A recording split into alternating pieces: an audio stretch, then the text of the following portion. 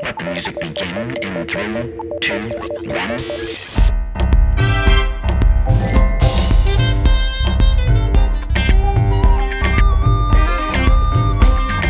Learning music, having fun. That's what we're gonna do.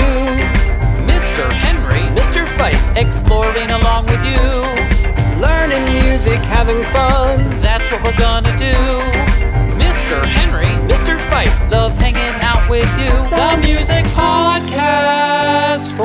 Kids. Hello, and welcome to the Music Podcast for Kids. We're your hosts, Mr. Henry, And Mr. Fite, Music educators extraordinaire. The Music Podcast for Kids is a fun and educational podcast where we learn and explore the best subject ever Music! Today's episode, we are learning about George Frideric Handel. And now the music joke of the day. We love jokes. So if you have a joke, please visit our website, themusicpodcastforkids.com, to submit your joke. And guess what? It doesn't even have to be a music joke, it can be any joke. We will read and enjoy your joke on the podcast and also let everyone know who it came from and where you are in this great, big, wonderful music world. Our joke of the day is What type of songs do planets sing? Huh? Neptunes. Get it? Neptunes like the planet? Oh, oh, Make sure to send in your jokes by visiting our website, themusicpodcastforkids.com. A link to the website can be found in the show notes. Thank you so much for listening. We hope you are enjoying the show so far. Please subscribe to the podcast to receive the latest episodes and leave a review through iTunes or wherever you get your podcasts. Also, get updates on what we are up to through Facebook and Instagram by finding us at Music Podcast for Kids. Links will be found in the show notes. On to the show!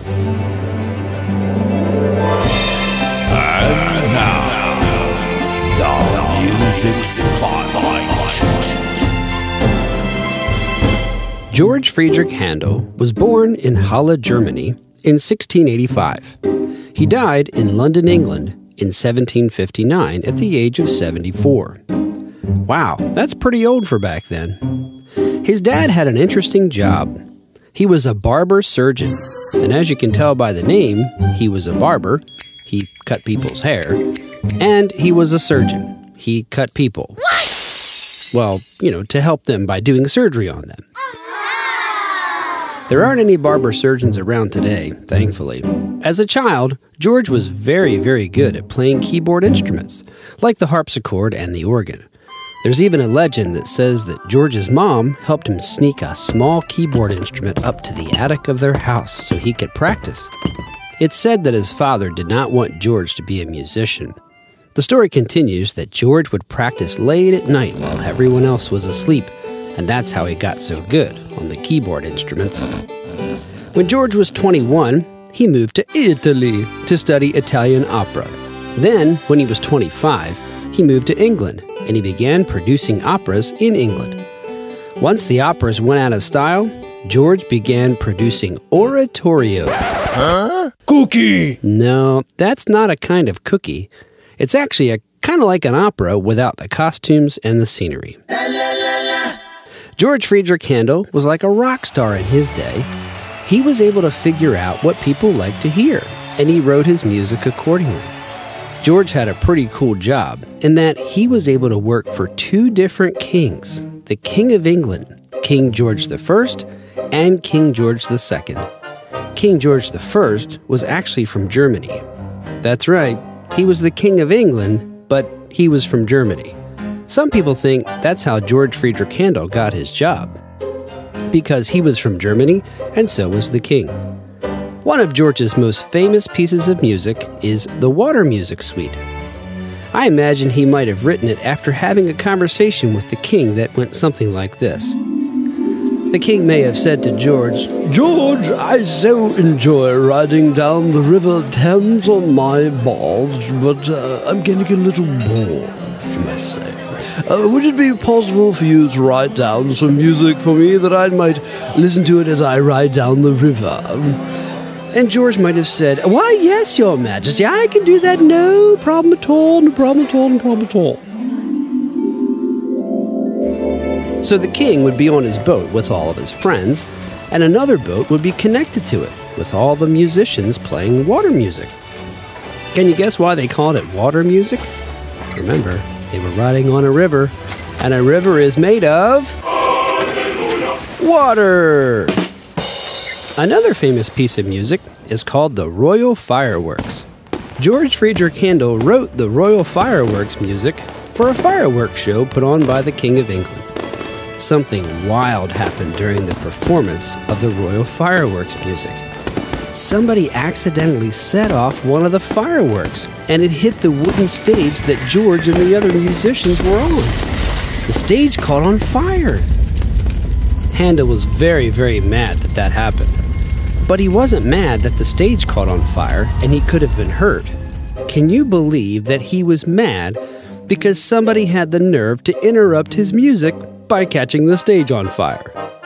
Another famous piece of music written by George Frideric Handel is called Messiah. It's all about the life of Jesus. One of the most famous songs from the Messiah is called the Hallelujah Chorus. It's a very exciting song. You may have heard it played on a TV show or a movie when something really cool happens to one of the characters, and the choir comes in with Hallelujah, well, when the King of England heard the Hallelujah chorus, he stood up. And when the king stands up, everybody else has to stand up too. That's just how it was. Nobody knew why the king stood up. Some people thought maybe he was standing out of respect. Others thought maybe he had some tummy troubles and he had to stand up to stretch out and get more comfortable. To this day, nobody really knows why the king stood up. But the funny part is, even today, every time the Hallelujah chorus is performed, guess what the audience does? They stand up. We still don't know why. We just stand up because the king stood up 300 years ago. The other amazing thing about Handel's Messiah is that he wrote the entire work, which takes about two hours to perform. He wrote it from beginning to end in less than a month. That's right, less than a month to write all of that amazing music. George Frideric Handel was known for his ability to write music very quickly, and the music he wrote was very good. Now, near the end of George's life, his eyes started to fail him, and it turns out that he had cataracts.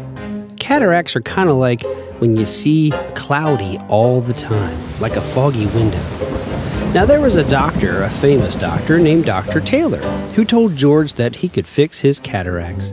So George paid Dr. Taylor to do a cataract surgery, and that's what Dr. Taylor did. But Dr. Taylor forgot to do something very important. He forgot to clean his tools. Ew. Oh boy, that's not good at all.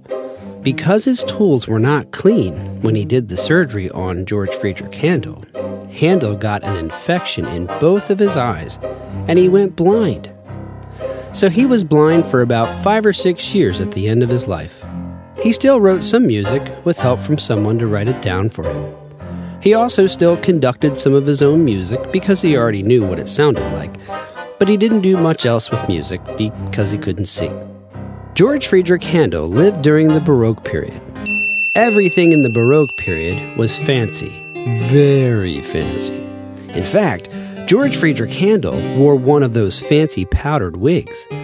The house George lived in, in London, is still there today, and it's a museum with a store on the bottom floor.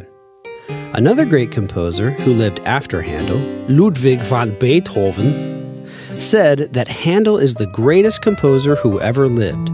He said he would bare his head and kneel at his grave. Wow, what a compliment coming from such a great composer. Now, when Beethoven said he would bare his head, That doesn't mean that he would shave all his hair off his head or stick a big grizzly bear on top of his head. It meant that he would take off his hat out of a great respect for George Frideric Handel. George Frideric Handel is one of the most celebrated composers in history. He was a superstar and he wrote a lot of amazing music. So there you have it, Baroque composer George Frideric Handel. Hallelujah. of the month. Huh? Apt of the month. What'd you say? Apt of the month. Uh-huh. Apt and technology. Apt of the month. Huh? Apt of the month. What'd you say? Apt of the month. Oh yeah. Music and technology. Hello there, Music Podcast for Kids listeners. This is Mr. Henry here to talk to you about the app of the month. The app of the month is an app called GarageBand. Um, you may have heard about this app before. It's a really wonderful um, program. Uh, the unfortunate thing is that it's only found on Apple products. Uh, so if you have an iPhone or an iMac, um, you can use this uh, this program called GarageBand, um, and it is created for um, folks to make their own music. So it's a it's a really powerful app, um, and uh, and it comes with all of the Apple products. So um, one thing that it has in there that is really cool are the loops. So a loop is basically when um, the the program already has uh, these instruments that were pre-recorded and all you do is press play to listen to it but then you can move it around and you can layer these different loops together so you might have a drum track um, and you pick which one you like the best and you put it uh, into the the sidebar and it'll show that that music for the drum set then you might add a guitar and you piece it together with the drum set. So you start to create your own music, and you really don't even have to know how to play any of the music. You can still piece it all together. So it's a lot of fun. It's really uh, user friendly. So, you know, kids of all ages can really play around with this app. Um, and there, there's so many neat things in it. So that's the one we suggest uh, checking out GarageBand. Thank you so much. Time to wrap it up, folks. Thank you so much for tuning into the Music Podcast for Kids. We hope you enjoyed the show and, most importantly, learned something cool today about music. Remember to send in your jokes or even a topic in music you would like us to discuss by visiting our website, themusicpodcastforkids.com.